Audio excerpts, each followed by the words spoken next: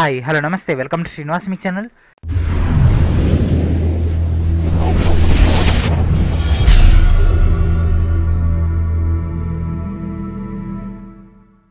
ఈ రోజు ఈవిడ మనకు రిజర్వ్ బ్యాంక్ ఆఫ్ ఇండియా నుంచి ఉద్యోగాలు భర్తీ చేయడానికి నోటిఫికేషన్ ఇవ్వడం జరిగింది. దాని యొక్క మెయిన్ డేటాలకు వెళ్ళిపోదాం లెట్స్ స్టార్ట్ ఫస్ట్ మనకు వచ్చినటువంటి ప్రెస్ నోట్ అని చెక్ చేద్దాం. సో ఈ విధంగా మనకైతే ప్రెస్ నోట్ అయితే రావడం జరిగింది.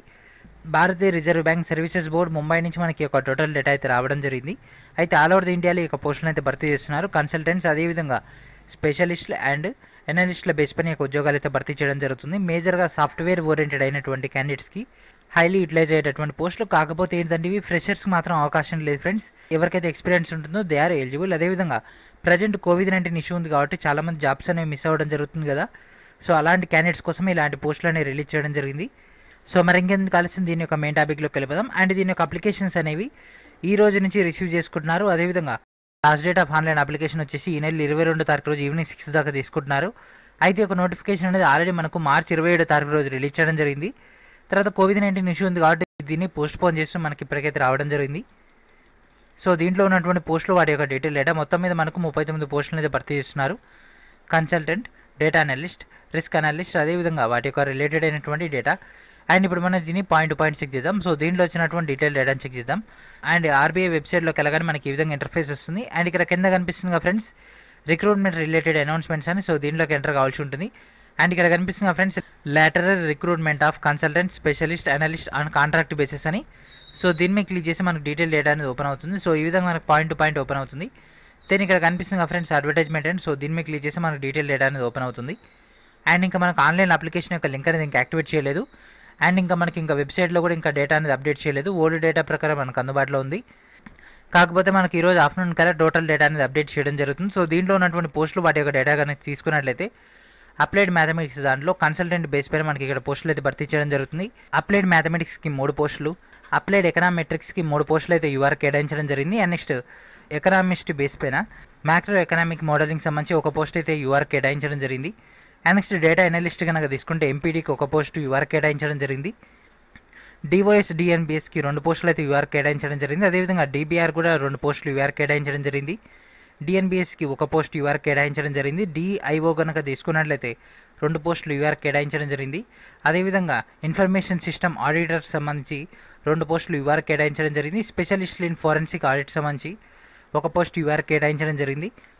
అండ్ నెక్స్ట్ అకౌంట్స్ స్పెషలిస్ట్ కనుక తీసుకుంటే ఒక పోస్ట్ యూఆర్ కేటాయించడం జరిగింది. అండ్ నెక్స్ట్ సిస్టమ్ అడ్మినిస్ట్రేటర్ కనుక తీసుకుంటే ఆరు పోస్టులు యూఆర్కి ఒక పోస్ట్ ఎస్సీకి రెండు ఓబీసీకి ఓవరాల్గా మనకు తొమ్మిది పోస్టులు అయితే కేటాయించడం జరిగింది. ప్రాజెక్ట్ అడ్మినిస్ట్రేటర్కి నాలుగు పోస్టులు యువర్కి ఒక పోస్ట్ ఓబీసీ కేటాయించడం జరిగింది. మొత్తం మీద మనకు ఐదు పోస్టులు అయితే కేటాయించడం జరిగింది. నెట్వర్క్ అడ్మినిస్ట్రేటర్కి ఐదు పోస్టులు యూఆర్కి ఒక పోస్ట్ ఓబీసీకి మొత్తం మీద ఆరు పోస్టులు అంటే టోటల్ ఓవరాల్గా యూఆర్కి ముప్పై నాలుగు పోస్టులు ఎస్సీకి ఒక పోస్టు అదేవిధంగా ఓబీసీకి నాలుగు పోస్టులు. అన్ని పోస్టులు కనుక తీసుకుంటే ముప్పై తొమ్మిది పోస్టులు అయితే కేటాయించడం జరిగింది. అండ్ అదేవిధంగా ఇక్కడ ఇచ్చినటువంటి పోస్టులో ఏదో ఒక పోస్ట్ మాత్రమే ఎలిజిబుల్ అయితే మనకైతే డేటా ఇవ్వడం జరిగింది. సో ఇక్కడ మనకు ఫిజికల్లీ హ్యాండిక్యాప్డ్ పర్సన్ సంబంధించి ఇక్కడ డీటెయిల్ డేటా అయితే ఇవ్వడం జరిగింది. And next age limit. So age limit కనుక తీసుకుంటే సీరియల్ నెంబర్ ఒకటి నుంచి పదకొండు దాకా వీళ్ళకు థర్టీ ఇయర్స్ నుంచి ఫార్టీ ఇయర్స్ దాకా మెన్షన్ చేయడం జరిగింది. As per the date on one three twenty twenty ప్రకారం థర్టీ టు ఫార్టీ ఇయర్స్ మధ్యలో ఉండాలి. థర్టీ ఇయర్స్ లోపు వాళ్ళైతే అనర్హులు. ఎందుకంటే మనకి ఇక్కడ ఎక్స్పీరియన్స్ పోస్టులు ఉన్నాయి కాబట్టి వాళ్ళు మ్యాక్సిమం డేట్ అయితే ఇవ్వడం జరిగింది. అండ్ నెక్స్ట్ మనకి ఇక్కడ పోస్ట్ కోడ్ నెంబర్ ట్వెల్వ్ నుంచి ఫోర్టీన్ ఈ యొక్క త్రీ పోస్టులకు మాత్రం ట్వంటీ ఫైవ్ నుంచి థర్టీ ఫైవ్ ఇయర్స్ దాకా మెన్షన్ చేయడం జరిగింది. ఏజ్ లిమిట్ అనేది. సో మళ్ళీ మనకు ఓబీసీ ఎస్సీ ఎస్టీకి అయితే రిలాక్సేషన్ వర్తిస్తుంది. సో ఎస్సీ ఎస్టీకి అయితే ఫైవ్ ఇయర్స్ ఓబీసీకి అయితే త్రీ ఇయర్స్ అయితే రిలాక్సేషన్ వర్తిస్తుంది కాబట్టి ఎలాంటి టెన్షన్ అవసరం లేదు. ఎందుకంటే మనకు ఆల్రెడీ ఇక్కడ పోస్టులు అయితే కేటాయించడం జరిగింది కాబట్టి.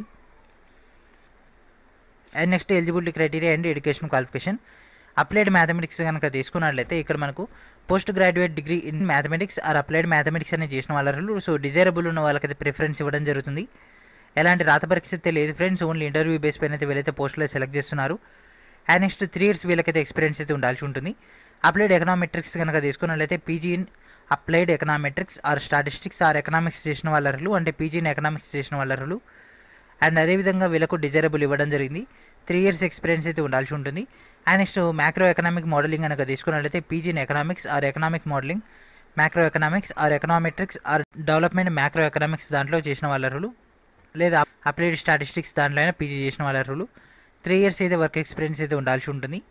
And next data analyst and next data analyst కనుక తీసుకుంటే PG in statistics or econometrics or mathematics or mathematical statistics or finance or economics or computer science or BE or BTech in computer science చేసిన వాళ్ళు అర్హులు.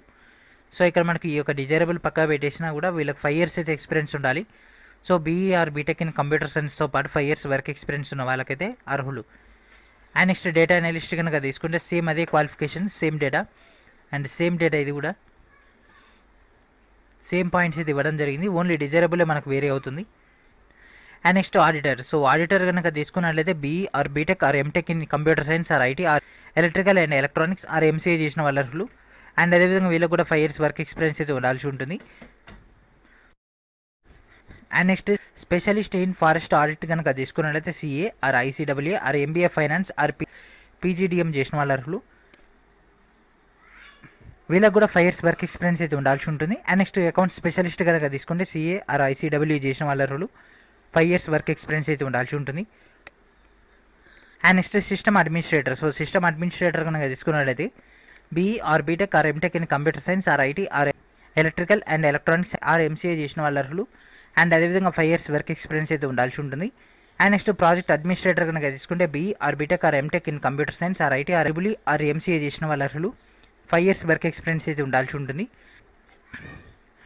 And next network administrator so network administrator కనుక తీసుకున్నట్లయితే B or BTech or MTech in computer science or IT or triple or MCA చేసిన వాళ్ళు five years work experience అయితే ఉండాల్సి ఉంటుంది అదేవిధంగా వీళ్ళకి సంబంధించినటువంటి మినిమం స్కోర్ కనుక తీసుకున్నట్లయితే జనరల్ ఓబీసీకి మినిమం ఫిఫ్టీ ఫైవ్ పర్సెంటేజ్ అయితే రావాల్సి ఉంటుంది.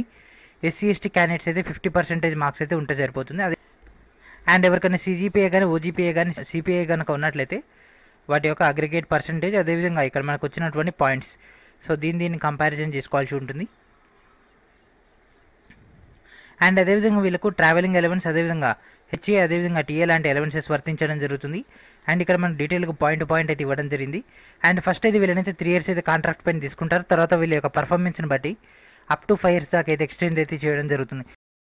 అండ్ వీళ్ళ యొక్క కాంట్రాక్ట్ అపాయింట్మెంట్ కనుక తీసుకుంటే పర్ యానం కనుక తీసుకుంటే వీళ్ళకి ఇరవై ఎనిమిది లక్షల నుంచి ముప్పై మూడు లక్షల రేంజ్ అయితే ఉండడం జరుగుతుంది. అండ్ ఇక్కడ మనకు అన్ని ఎలవెన్సెస్ అదేవిధంగా ఇక్కడ జాబ్ ప్రొఫైల్ సో మనం చేయాల్సినటువంటి జాబ్ ఏంటిది? దాని యొక్క డిస్క్రిప్షన్ యొక్క డీటెయిల్ డేటా అయితే ఇవ్వడం జరిగింది. And next application fee so application fee కనుక తీసుకున్నట్లయితే ఎస్సీ ఎస్టీ ఫిజికల్ హ్యాండిక్యాప్డ్ సంబంధించి హండ్రెడ్ రూపీస్ అయితే ఫీ పేమెంట్ చేయాల్సి ఉంటుంది. అండ్ అదేవిధంగా OC OBC physical handicapped general కనుక తీసుకున్నట్లయితే అండ్ ఓబీసీ కనుక తీసుకున్నట్లయితే six hundred rupees fee payment చేయాల్సి ఉంటుంది. ఈ యొక్క ఆర్బీఐ స్టాఫ్ కనుక తీసుకుంటే నీళ్ళు ఎలాంటి పేమెంట్ చేయాల్సిన అవసరం లేదు. అదేవిధంగా సెలక్షన్ ప్రొసీజర్ కనుక తీసుకుంటే అప్లై చేసినటువంటి క్యాండిడేట్స్ నుంచి వీళ్ళైతే ఫస్ట్ షార్ట్ లిస్ట్ అయితే చేయడం జరుగుతుంది. ఆ యొక్క షార్ట్ లిస్ట్ అయినటువంటి క్యాండిడేట్స్కి ఇంటర్వ్యూ అనేది కండక్ట్ చేస్తారు. ఆ యొక్క ఇంటర్వ్యూలో చేసినటువంటి పర్ఫార్మెన్స్ని బట్టి పోస్టింగ్స్ అయితే అలాట్మెంట్ చేస్తారు. ఆల్ ఓవర్ ది ఇండియాలో పోస్టింగ్స్ అయితే ఇవ్వడం జరుగుతుంది. అండ్ ఇంకా మనకు ఆన్లైన్ లింక్ అనేది యాక్టివేట్ అవ్వలేదు. సో ఇక్కడ కనిపిస్తున్నటువంటి ఈ లింక్స్ ద్వారా మనం డైరెక్ట్గా రిమైనింగ్ ఉన్నటువంటి టోటల్ డేటాని గ్యాదర్ చేసుకోవచ్చు. మేబీ ఈరోజు ఆఫ్టర్నూన్ కల్లా మనకు లింక్స్ అనేది యాక్టివేట్ అయ్యే అవకాశం ఉంటుంది. సో యొక్క డీటెయిల్ డేటా అంతా కూడా ఈ వీడియో కింద ఉన్నటువంటి డిస్క్రిప్షన్ ద్వారా మీకు అందుబాటులో ఉంచడం జరుగుతుంది. అండ్ ఇక్కడ మన పైన రెండు కనిపిస్తున్నాయి కదా ఫ్రెండ్స్ ఈ యొక్క టూ లింక్స్ ద్వారా మన యొక్క అప్లికేషన్ ఫీ పేమెంట్ అదేవిధంగా దీనికి సంబంధించినటువంటి రిజిస్ట్రేషన్ ప్రాసెస్ సంబంధించి ఇక్కడ మన డేటా అయితే ఇవ్వడం జరుగుతుంది. సో ఇది ఫ్రెండ్స్ ఈరోజు వీడియో. మనకైతే ఒక RBI reserve bank of India నుంచి కాంట్రాక్ట్ బేస్ పైన అయితే ఉద్యోగాలు అయితే భర్తీ చేస్తున్నారు. కాబట్టి ఇవన్నీ కూడా ఎక్స్పీరియన్స్డ్ బేస్ పైన ఎక్స్పీరియన్స్డ్ బేస్ పైన అయితే భర్తీ చేయడం జరుగుతుంది. సో ఈ రోజు ఆఫ్టర్నూన్ కల్లా మనకు లింక్స్ అనేవి యాక్టివేట్ అవుతాయి. అక్కడి నుంచి మనం డీటెయిల్ డేటాని గ్యాదర్ చేసుకోవచ్చు. ಸೊ ಇದು ಫ್ರೆಂಡ್ಸ್ ಇರೋ ಜೊತೆ ನೆಕ್ಸ್ಟ್ ವಿಡಿಯೋ ಮಾಡ್ಕೊಂಡು ಎಳೆ ತಗೊಳ್ಳಿದ apro study my my channel. Please subscribe my channel, please. Every everyone, and thank friends, thank for watching. Are you preparing for PG Set 2020? Searching for best online coaching centers? Then visit Srinivas Mech PG Set Digital Classes Series. Mechanical Engineering Special Hundreds of videos, 100% syllabus cover 20 plus subjects, daily announcements, study materials, personalized group for easy community, and many more. For demo classes visit Srinivas Mech YouTube channel, series under 499 only.